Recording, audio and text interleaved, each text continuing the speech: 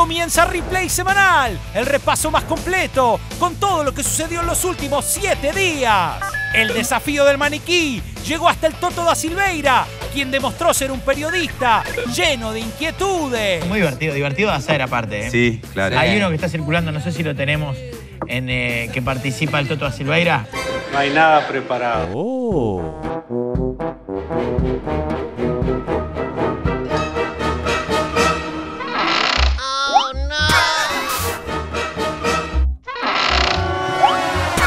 Movimiento pendular. ¿Viste cuando las estatuas vivientes que hay en Claro, el centro de la moneda. moneda se mueven? Sí, Yo creo que pasó eso. El equilibrio es, es dificilísimo.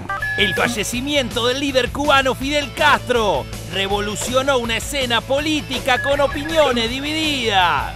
Tantas veces se especuló con este momento, tantas veces se anunció o corría la información y no era confirmada. Lo cierto es que a los 90 años de edad falleció Fidel Castro.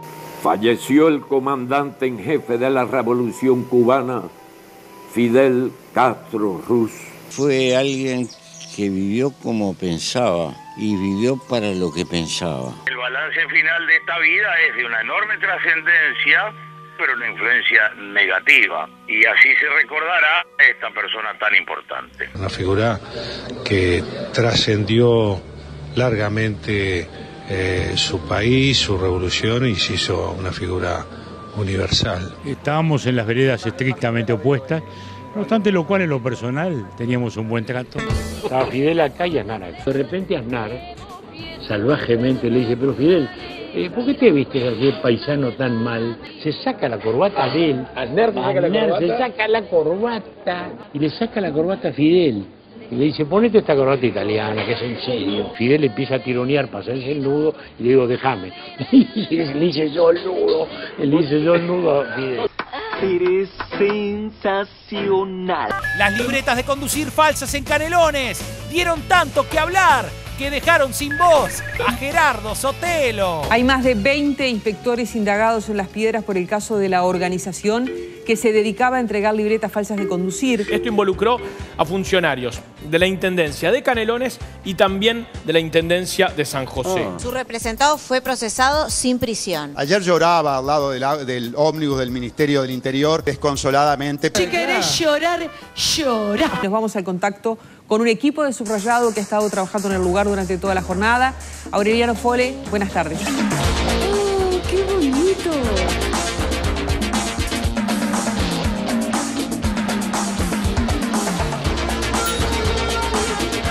Este es un tema endémico en la ciudad de Las Piedras. Viene de administraciones anteriores. En una época tú llevabas 10 litros de vino y dos salchichones y te traías la libreta de Las Piedras. Estamos hablando de no ¿Por hace mucho ¿Dos salchichones? Y bueno, Che, habría que ver.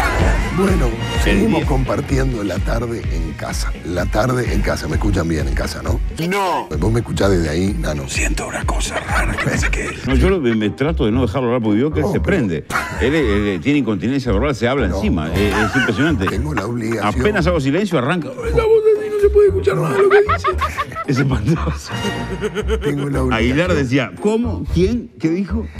La tarde en casa. Me escuchan bien en casa, ¿no? Y el tema de la semana fue el terremoto que pocos sintieron, pero del cual muchos hablaron. Cientos de llamadas reportando temblores de tierra en varias zonas del país. Este evento sísmico se encuentra entre Toledo y Las Piedras. Me pegué un susto que ni te digo. Cuidado, cuidado, cuidado. Se vino, se bueno, dejate de joder. Bueno, Tiraron dos, dos peditos de vieja y tembló el cerro. Lore, te vemos y te escuchamos. Ay, se nos quedó justito el móvil. Ahí está De un momento al otro va a comenzar. Se registró un evento sísmico y le vamos a pedir a la doctora Leda. Todo audio. A ver. Ahora creo que sí. Un equipo de la facultad estaba en viaje al cerro, donde está instalado el acelerómetro. Y lo tuvieron que prender, parece que. y no prendía. Fue una vibración enorme y después ¡pum! una explosión. ¿Qué escuchó su señora? Como del cielo dice que venía un estampido. Dice. Les traigo paz. Un chileno que dice que no fue un sismo, no fue un terremoto, fue un Sonic Boom. Y bueno, acá vienen los tweets. El comunicador Diego González fue uno de los primeros en reaccionar. ¿Qué fue eso? ¿Godzilla sos vos?